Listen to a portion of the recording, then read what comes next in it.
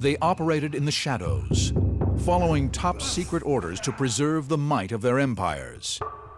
The mysteries of history's special agents stretches back thousands of years. But now the case files on history's real James Bonds are being reopened. The ninja assassins that blew their enemies away. The secret agent who wore the world's first life jacket to save Rome from burning. The Italian genius who wrote secret messages on the inside of eggs. And the elite spy communication systems that supported history's greatest empires. The surprising results will reveal a profound insight into the world of the ancient secret agent, one that is still true of the men and women who serve in the intelligence community today. Blowing the whistle on the hidden world of the secret agent is our ancient discovery.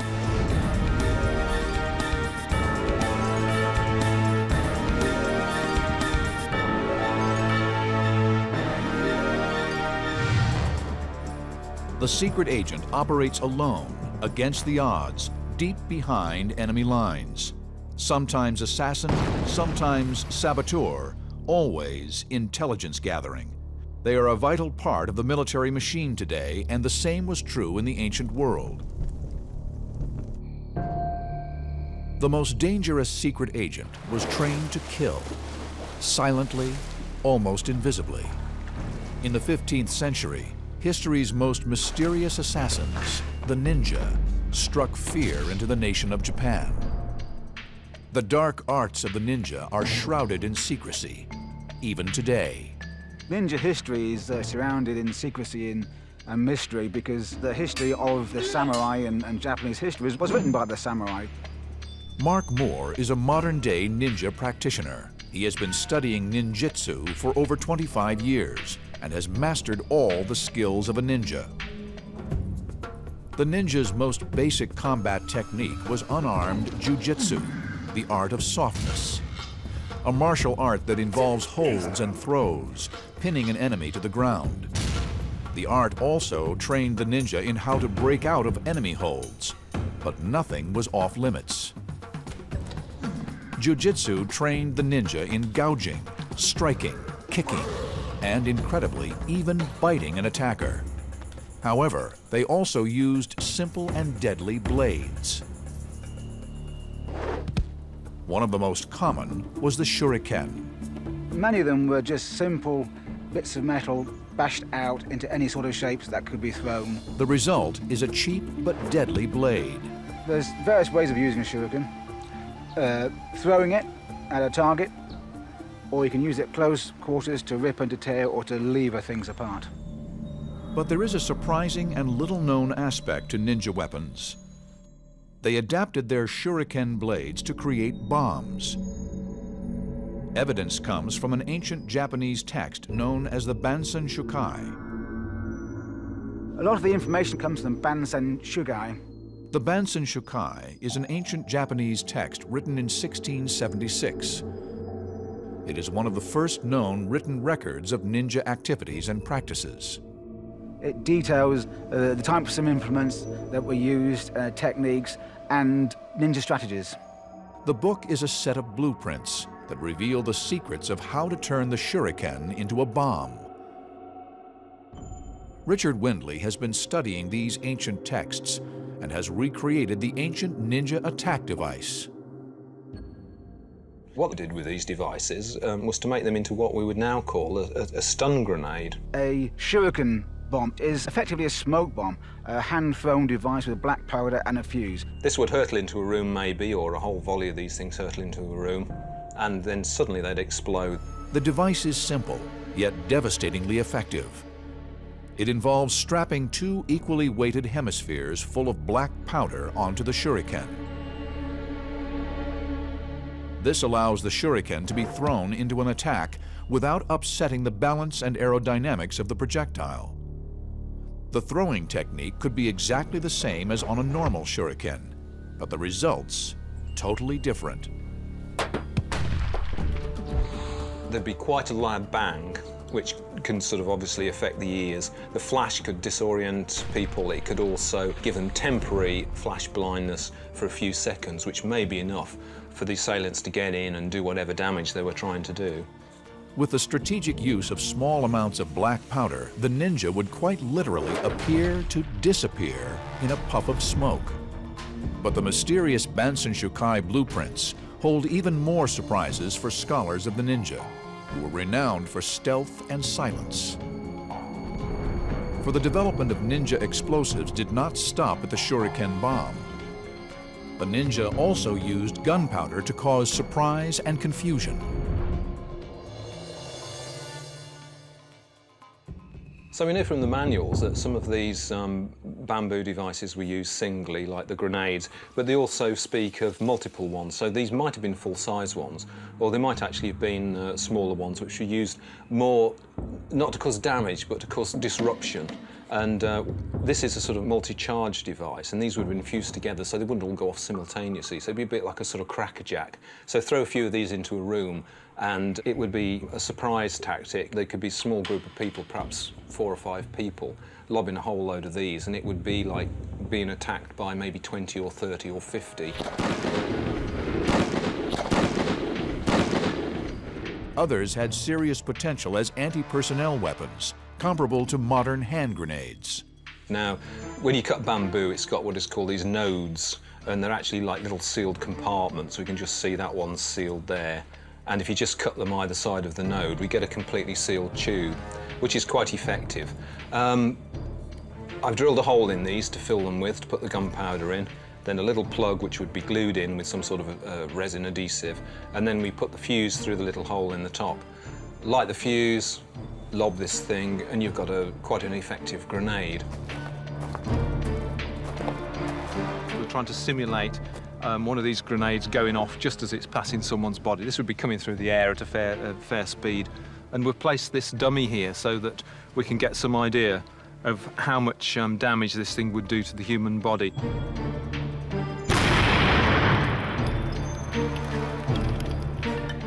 That was a real surprise. I never expected these things to go off like that. It was a huge bang. We've got bits of bamboo actually impaled into the dummy. We can see areas of charring here, all from a simple little device with a few ounces of gunpowder.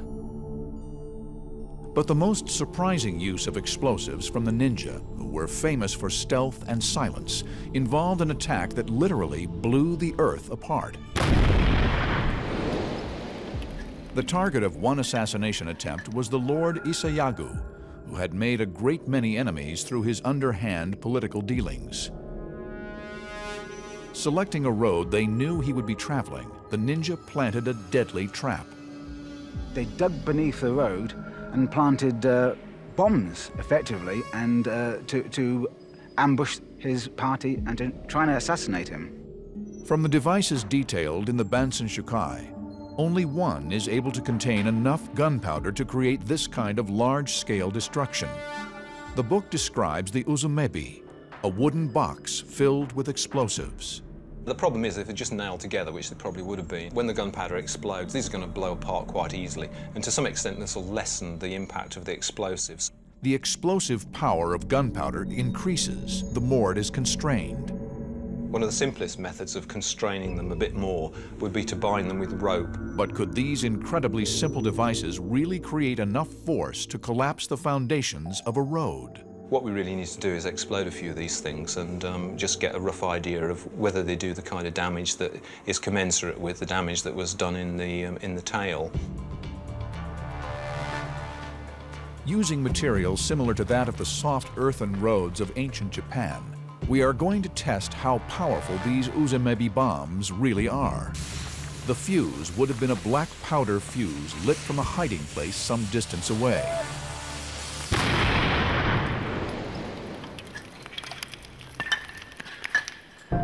Well, I think that was pretty significant. That was a fairly small device, about a pound, a pound and a quarter of gunpowder. It's completely demolished this pile of, uh, of earth here. We imagine those three or four times that size, sapped under a road. That's the end of the road, and whatever happens to be walking on the road. And it's also a, a really surprisingly loud crash.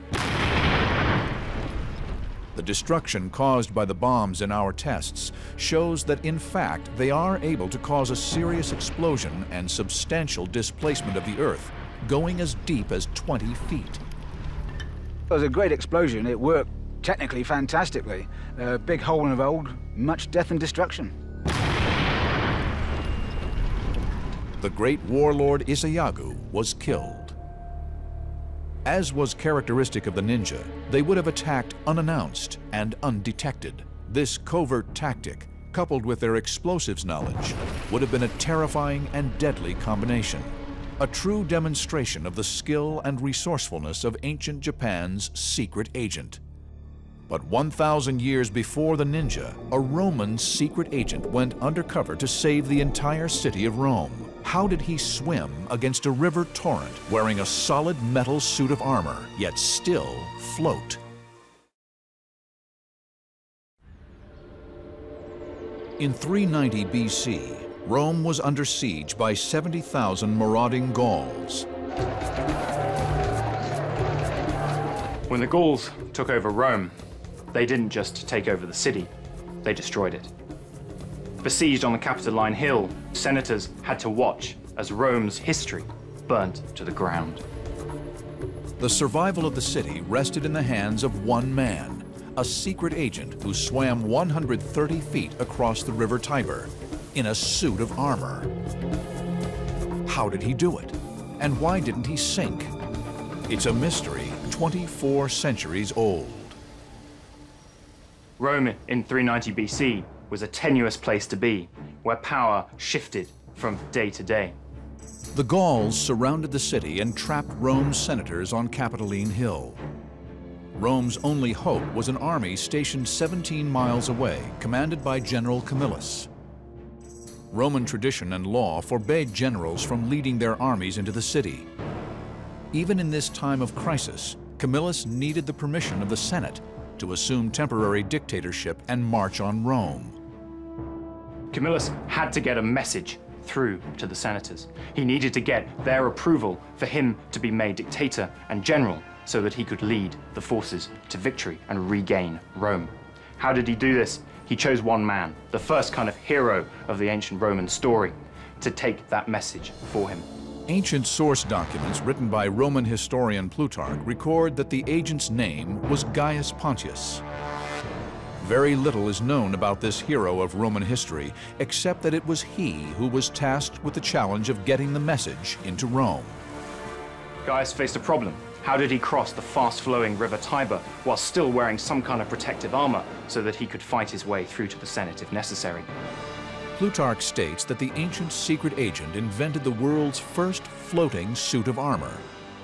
And he half swims, half floats across the river, and then climbs up at night and manages to make contact with some of the key Roman leaders. And he says to them, Listen, there's this man that you exiled called Camillus. He's exactly the man that we need to come back and defend us at this time of great crisis. But how do you make a suit of armor that floats? Plutarch wrote that Pontius had crafted a suit of armor made of metal and cork. At the Royal Lifeboat College in England, Ancient Discoveries is applying the latest scientific techniques to the story of Gaius and the cork suit that saved Rome.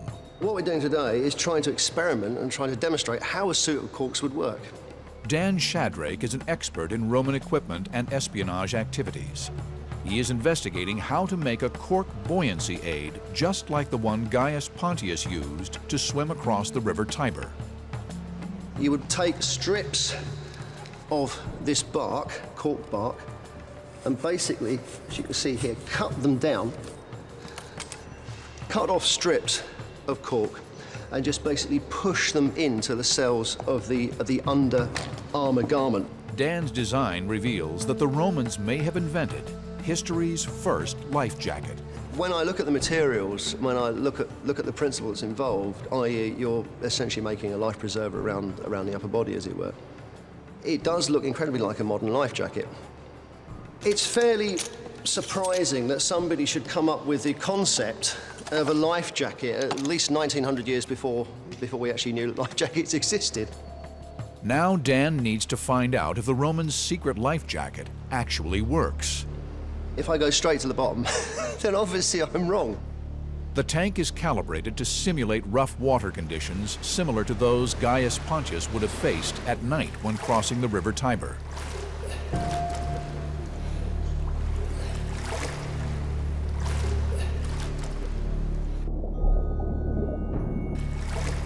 Amazingly, Dan floats comfortably. I'm still retaining my buoyancy. So far, I'm feeling fairly relaxed. I don't know how I'd feel wearing bronze armour on top of this, but as I say, it's keeping me afloat. The ancient Roman cork suit passes the test with distinction. But Plutarch tells us that Gaius used the cork suit to support him while wearing full-scale armor on his hazardous swim. Will the cork layer also support this extra 25 pounds of weight? It is incredibly heavy. These tiny bronze scales are sewn onto a backing of leather, so I'm going to be testing the buoyancy of this cork suit and my swimming skills, which aren't very good, to the absolute limit. If Gaius had encountered Gaul resistance, the plate armor would have allowed him to fight his way out, but it weighs 25 pounds. Can the cork suit keep a secret agent buoyant even when he is wearing solid bronze armor? I may well go straight to the bottom in this stuff, but I'm very, very glad that lifeguards are standing by. The lifeboat college training team fit Dan with a safety line in case the experiment goes wrong.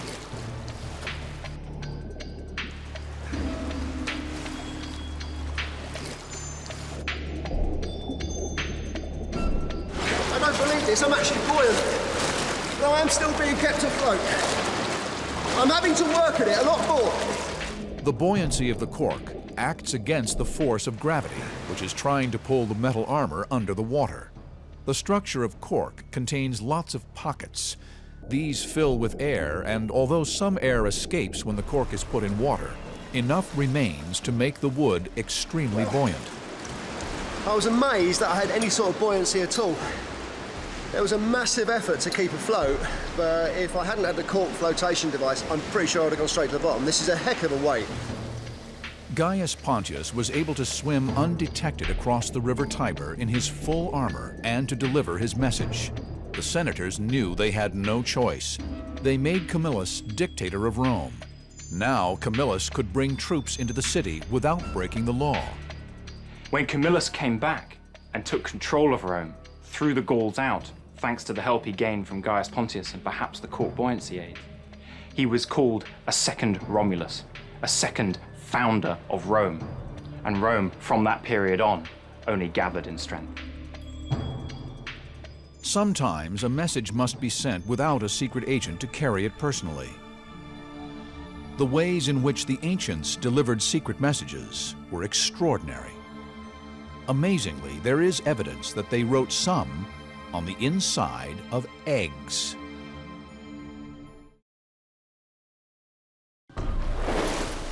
Working undercover, deep behind enemy lines, the secret agent is called upon to infiltrate, sabotage, and even assassinate for his country. But by far the most important and valued asset the secret agent produces is information, intelligence. Getting the intelligence home can be as dangerous and difficult a task as any the secret agent must perform. Counterintelligence agencies try to intercept communications. The answer for the secret agent is steganography. Steganography is the art or science of secret writing. It was often associated with mysticism and the occult uh, in the medieval and Renaissance period. The point was to send secret messages between diplomats based on secret, personal, private texts that the rest of the world couldn't read. A mysterious and little known figure from the ancient world can rightly be thought of as the father of steganography. His work is the basis for many top secret communications even today. His name was Giovanni Porta. Giovanni Porta was one of those amazing characters in history that had an insatiable curiosity and will to acquire knowledge on all and every subject available to him. He was born in 1535 in Naples and he was born into a very wealthy family so he had a superb education, the best that was available at the time. But Porta lived under the shadow of the Spanish Inquisition, a 356-year campaign against Jews, Protestants, and explorers of what the Catholic Church defined as heresy.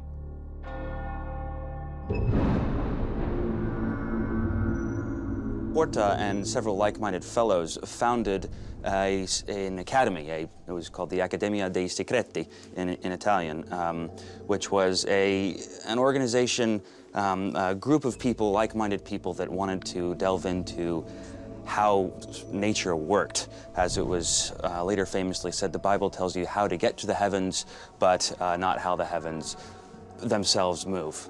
Thus, De La Porta found himself um, at times in direct confrontation with the church. The Spanish Inquisition left an estimated 135,000 dead over four centuries. Giovanni Porta needed secrecy to survive. Under the Inquisition, thousands of people were imprisoned, and the prison authorities were absolutely meticulous about checking everyone that visited the prison. It's even reported that people would try and write messages um, inside their fingers, and even these were checked. So one thing that wasn't actually checked under the Inquisition rules were eggs, and it was just assumed that these were harmless. There is no way that um, they could be used either for secreting objects or messages of any sort. And of course, someone eventually found a way around this. In chapter 17 of his book, Magica Naturalis, he details how to write a secret message on the inside of an egg. He describes a process by which you write with a special mixture on the outside of the egg. The message disappears, and then once the recipient receives the egg, he's able to open the egg, and the message is there again visible for him to read. Leading model maker Richard Windley is investigating the accounts of Porta and the secret eggs. In the saucepan here I've got um, some natural plant pigment and what we're going to do is to add some vinegar and some alum. Alum is a naturally occurring class of minerals used since ancient times for a range of purposes. One of its useful properties is in dyeing, where it helps the plant pigment color the eggshell. Richard is using exactly the same mixture to write the magic ink as Porta himself would have used over 500 years ago. We've got that in there. We're going to give that a good mix around now and gradually heat it up until everything is um, dissolved. Richard marks the egg with a sign, the letter X. He must let the ink dry for 20 minutes before immersing it in water for an additional 5 minutes. What we need to do now is to leave this for a while. So what we want is for the, the acid and the alum and the pigment to actually be absorbed through the eggshell, which is sort of semi-porous. The egg is then boiled, washing away the ink. The acids in the ink seep through the eggshell to the inside, leaving no visible trace.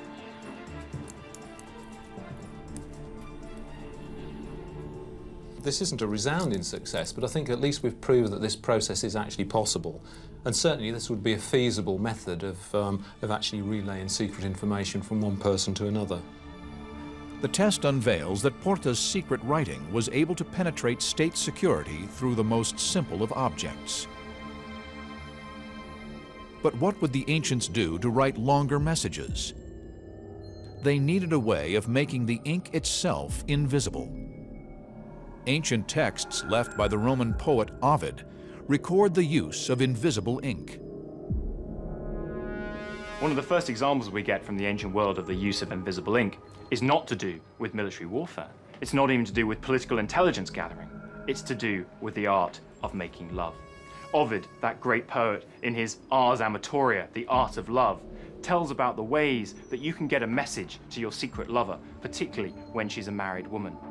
Ancient texts describe the use of milk, vinegar, and honey as invisible inks. Richard Windley is investigating. Richard is using milk to write the word classified onto the paper.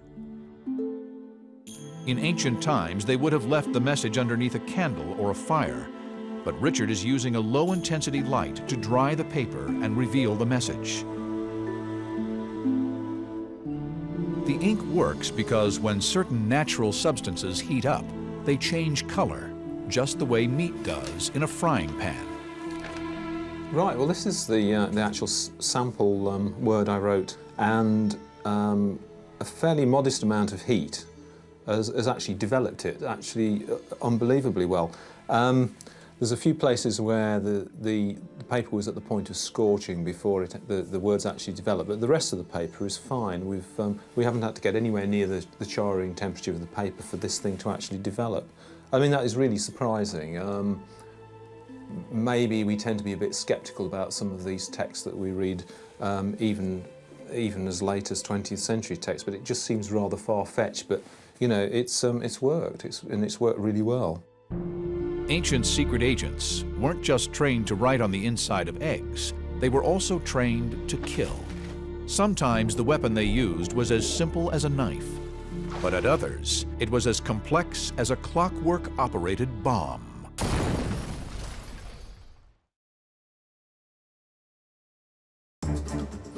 Covert assassination attempts have been carried out since the beginning of history.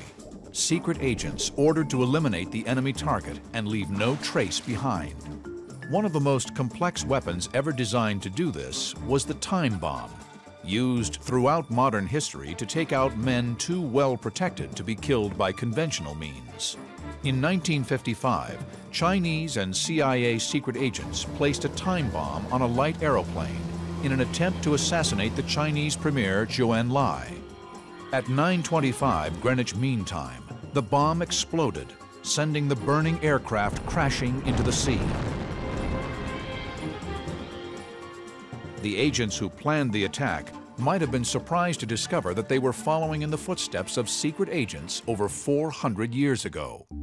Hidden in a mysterious ancient text from the 16th century lies a description of what could be the world's first time bomb. We have a number of early texts from um, the 16th century onwards, and at that time people were experimenting with pyrotechnics. Um, gunpowder was a relatively uh, new kind of development. It had been around for a while, but people were finding new ways of using it and developing it and finding out its full potential. And there are often in manuscripts there's sort of talk about trying to set off a bomb with a clock.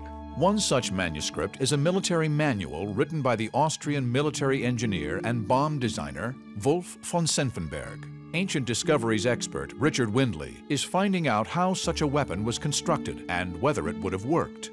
We've just got these tantalising references in the text to, to time bombs. So really my job here was to think, how can we actually build an effective working time bomb given the technology of the time? The first thing they'd have needed was the timer. A time bomb, by definition, requires some sort of time delay system. And uh, what I've got here is, is my kind of reconstruction of one of the very earliest of mechanical timing devices. In essence, it's basically the, uh, the escapement of a very, very early clock. Mechanical clocks started to appear in the 13th century. The first clocks that that came into being tended to be public clocks. These would be on, uh, on towers, and um, would strike the hours. They, they, didn't have faces, they didn't tell the time with hands as we're familiar with now. They simply worked by striking bells. Known as alarums, these early monastical clocks were used to ring the bells for religious services. They worked through a system of weights and wheels. To put it in its most simple terms, we've got the gravitational force acting on the weight, which is turning this wheel here and that is imparting just enough energy to the foliot, this bit at the top, to make it go backwards and forwards. But the foliot is in turn stopping that wheel and allowing just one tooth at a time. The clock runs for as long as it takes the weight to fall. A beautiful and intricate piece of ancient engineering. But Richard thinks he's found a way to adapt the alarm system of this clock, turning what was an innocent religious timepiece into a potentially deadly weapon. On the monastic alarm, this would ring a bell, but if we want to set off some other sort of device, um, particularly if we're talking about a time bomb, we can simply modify this lever, and I've got a little rod here coming off this lever. And all we need to do is attach that to some ignition system. For an ignition system, Richard decides to use the wheel lock, a revolutionary gadget that appeared in the 16th century. The way it works, basically, um, is that there's a little wheel which has got serrations on it, and uh, inside the lock is a strong spring which rotates the wheel.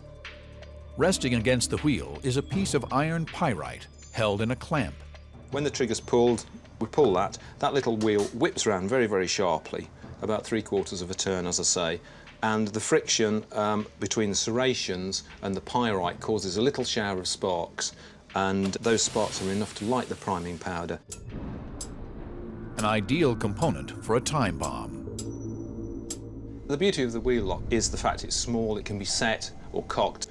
and it'll just sit there until that trigger is pulled. Perfect for a secret agent whose target is powerful and well protected.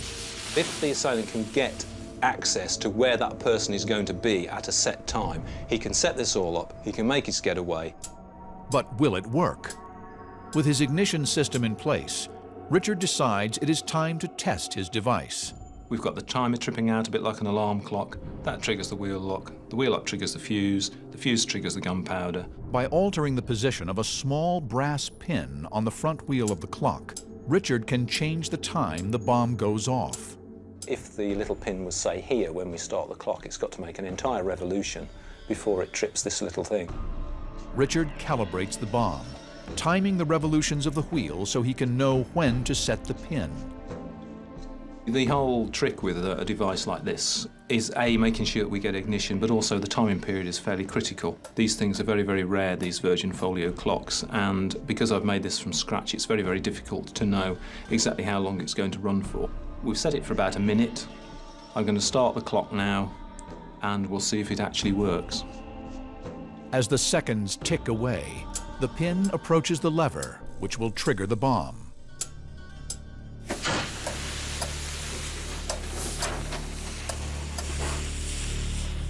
The mechanism is a success, and the fuse is lit.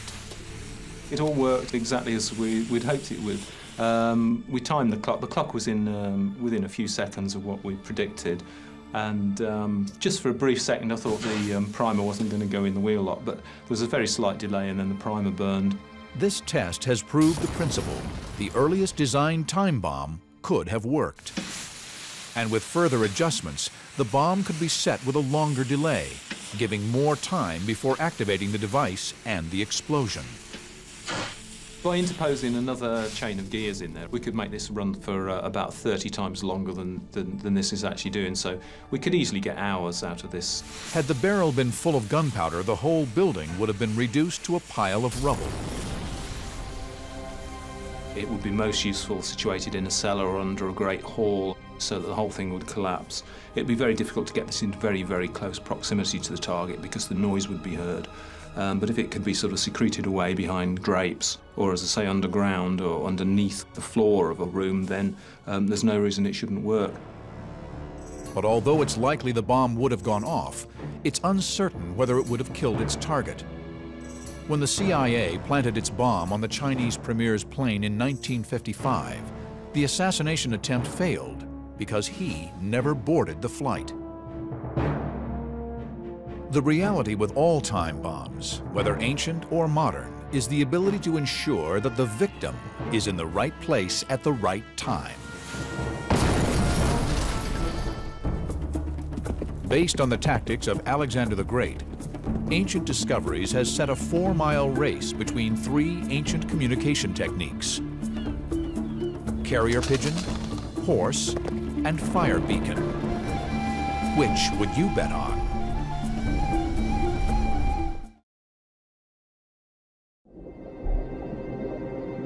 Whatever mission the ancient secret agent chose to accept, his work would be hampered without a system that unites spy networks everywhere and across time. Getting the message home. Secret agents rely on complex communication systems to deliver priceless data back to base. The ancient world was no different. This is a world without internet, without telephones, without TV, without text messaging, without satellites. This is a world where you have to invest huge resources, huge manpower into creating a network through which you can send information and through which you can establish authority. No one understood this better than Alexander the Great, the most successful military commander in history.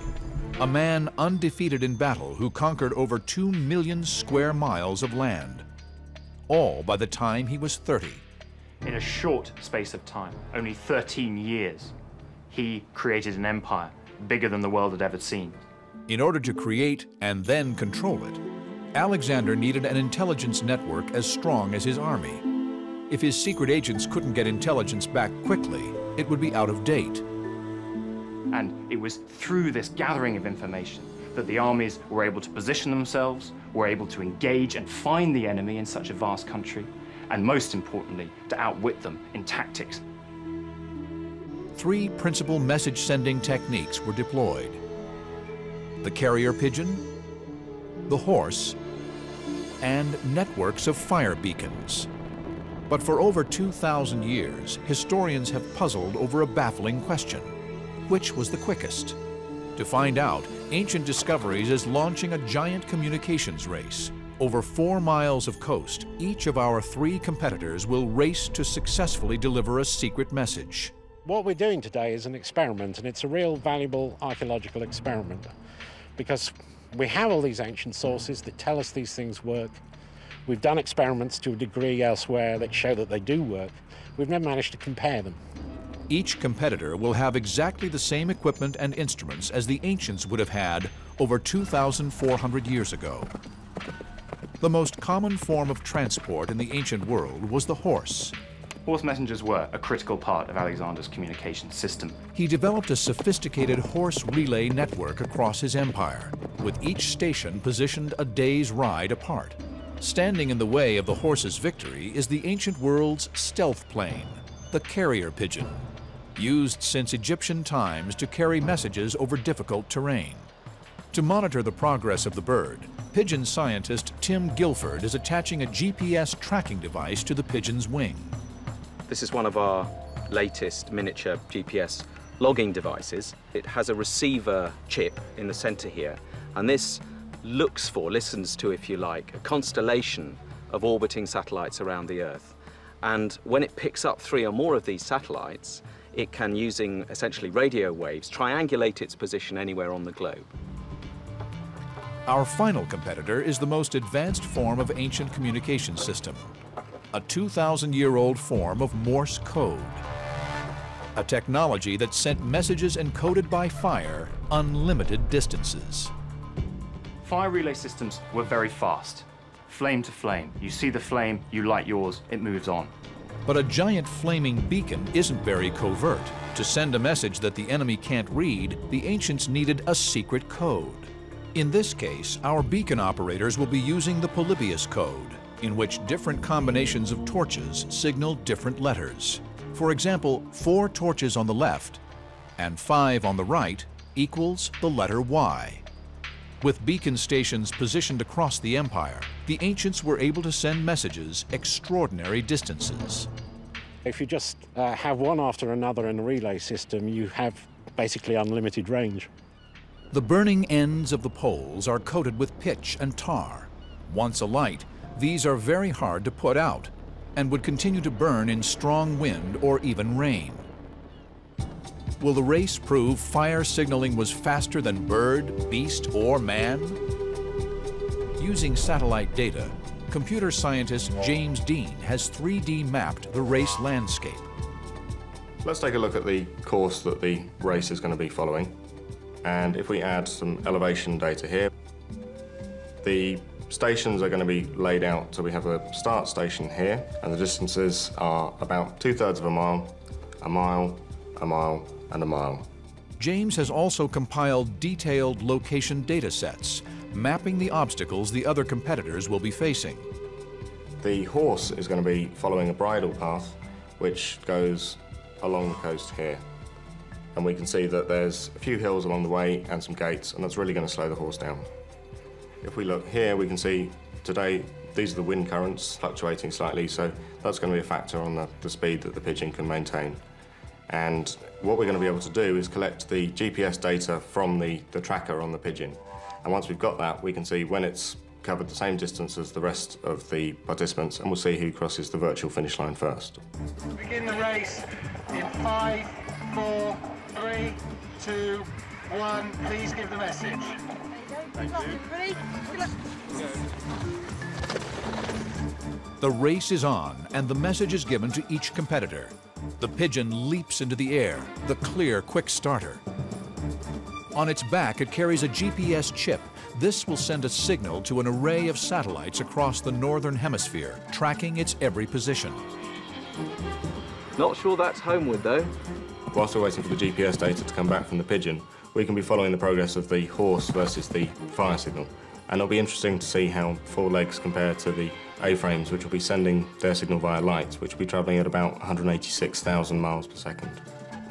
The horse won't be going nearly that fast. At a steady canter, a horse can travel at around 15 miles per hour. But the beacons are taking time to transmit each letter of the message. 3-1. After one mile and 10 minutes, the horse approaches Beacon Station 2. And as we get to the second station here, we can see that the horse and the signal are neck and neck at the moment. The signal has been received at the second station and is about to be transmitted onto the second one as the horse goes by. At Station 3, a weakness in the ancient fire beacon system becomes clear. Four, two. This is interesting. Three, two. We're now at 15 minutes and 30 seconds, and we can see that the horse is now passing the fourth station. And if we look at the fire signals, it looks like the A-frames are having some sort of difficulty. The message is still caught up between the third and fourth stations at the moment. It's difficult to tell from this data, but they're spending a lot longer on this leg than they have on the previous ones. Five, two. Oh dear, that doesn't sound good. The inexperienced operators are having trouble deciphering the signals. Five, five. We're now at 20 minutes, and we can see that the A-frames are now starting to send the message. And if we look at the progress of the horse, we can see that it's starting to tire. Its average speed has dropped to 9 miles per hour, so there's still everything to play for. It's almost a word. On three. After 20 minutes, the message has traveled three miles. We're now at 22 minutes, and we can see that the horse is rapidly approaching the finish line. And if we look at the A-frames, we can see that they're, they're still signalling. It looks like they've got about 20 characters to go, so it looks like the horse has got it. The horse crosses the finishing line as the final letters are being read from the last beacon. It appears to be a close win for the horse. But how did the pigeon compare? The pigeon has flown back to its home roost and not to the finishing line. In the ancient world, pigeon lofts would have been set up along a direct route between secret agent and high command. For this experiment, James must overlay the path of the pigeon over the course of the race. Now we've got the GPS data back from the pigeon, let's overlay it on the map and see what it looks like. Now it's actually heading for its loft over in this direction, so if we translate that path back again here, so it's following the same line as the other competitors, we can see how it compares. And as we see the pigeon cross the finish line here, time's now at 6 minutes 20. That gives it an average speed of 32 miles per hour, three times faster than the horse. That's a clear win for the pigeon. The pigeon finished the four-mile course in an incredible 6 minutes 38 seconds. The pigeon beat us by six minutes, the horse by four. Not only have the beacons been thrashed by the horse and pigeon, but their message has become undecipherable. Which reads, Bears Mojin Jumble tomorrow hands was. so I think it's back to the drawing board just for the moment. So why did the message system that works at the speed of light fail? We were still at the stage of looking up the code table for every single letter. If we'd have been able to do it like a professional army would have done it, they would have done it almost by instinct. They must have been very, very well trained, much, much better than we've been able to do in a day.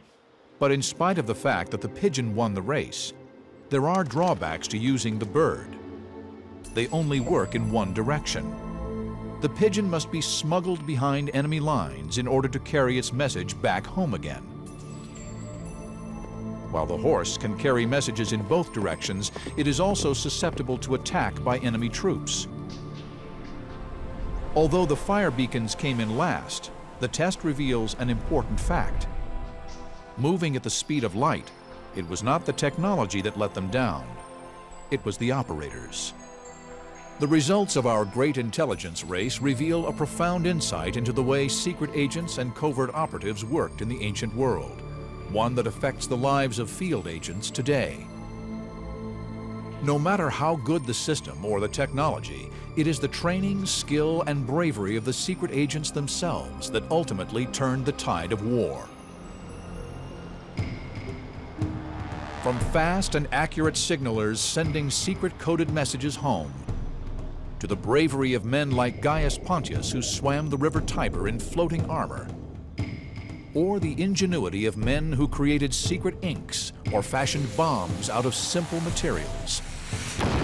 Then, as now, intelligence services and commanders alike rely on the human link in the chain. The ancient world was shaped by technological advances, but created by the genius and bravery of human secret agents.